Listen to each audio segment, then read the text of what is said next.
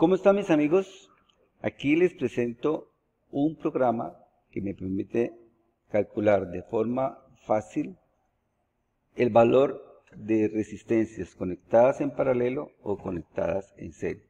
Pero antes de continuar, por favor, eh, suscríbanse, denle like a los videos eh, o dislike si no les gustan. Haga un comentario bueno o un comentario malo si no les gustan. Compártanlo y si pueden, si les parece que se justifica, unas gracias con unas moneditas sería excelente.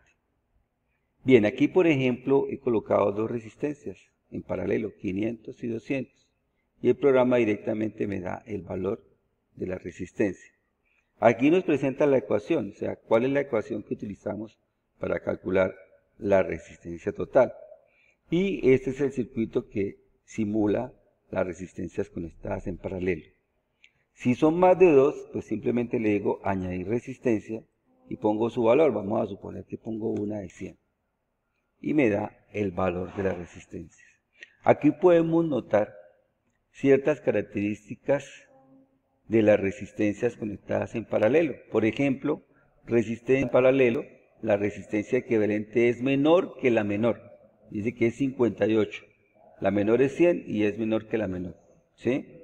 Y podemos mirar, por ejemplo, si ponemos resistencias iguales. Vamos a ponerlas todas de 500. Cuando yo pongo resistencias iguales en paralelo, la resistencia equivalente es una de sus resistencias dividido en el número de resistencias. Miremos a ver, vamos acá a la calculadora, a ver si eso es cierto, según el programa que nos está dando.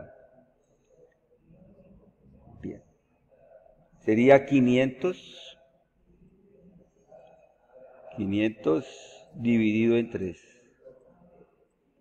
Mire, exacto. O sea, es un detalle que tiene las resistencias en paralelo. Si tengo iguales, es una de las resistencias dividida por el número de resistencias. Ahora vamos a virar el programa para calcular resistencias en serie, aunque este es más fácil porque lo único que hace uno es sumar el valor de las resistencias. Resistencias en serie. Entonces, aquí nos hacen el, circuito de dos resistencias conectadas en serie, pueden ser más, pero ponemos una de 1000 por decir algo y otra de 1000, pues obviamente es muy sencillo, el valor de la resistencia total es 2000 ohmios. Podemos añadir otra resistencia, vamos a ponerla de 500 y el valor total es 2500 ohms. Aquí está la ecuación, la resistencia total es igual a R1 más R2 más R3. De esa manera, con este programa, nosotros podemos eh, calcular fácilmente el valor de resistencias en paralelo y resistencias en serie. Es una herramienta, una ayuda que nos ayuda a simplificar, obviamente, la resolución de circuitos eléctricos. Ahí se los dejo. Eh, ¿Cómo se consigue ese programa en la red? Pues usted, el programa se llama DigiCate.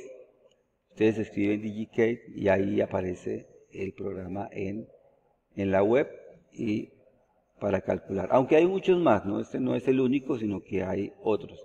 Y aquí podemos ver que tenemos otros otras aplicaciones, mire, para resistencia, para condensadores, para calcular divisores de tensión y para calcular divisores de corriente. Estos los estaré mostrando en otro video, ¿sí? Y también tiene aquí una ayuda de calculadora. Este no lo he experimentado, voy a sacarla a ver qué dice. Ah, ah mire, calcula, cálculo del código de colores. Ah, ve, hay otras muy interesantes. De este programa estaré haciendo algunos videos adicionales para ir mostrando obviamente estas herramientas interesantes. Bueno, otra vez, no se les olvide suscribirse, darle like, activar la campanita, comentar, compartir y si pueden dar, la, dar las gracias con unas moneditas, excelente. Muchas gracias, hasta luego.